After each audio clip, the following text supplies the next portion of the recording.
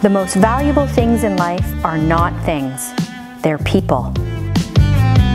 Dream of hosting your family holidays in a warm space like this.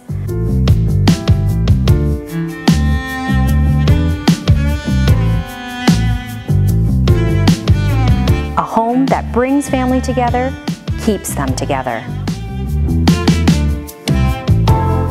To make this stunning executive home yours, call me Penny Maillette.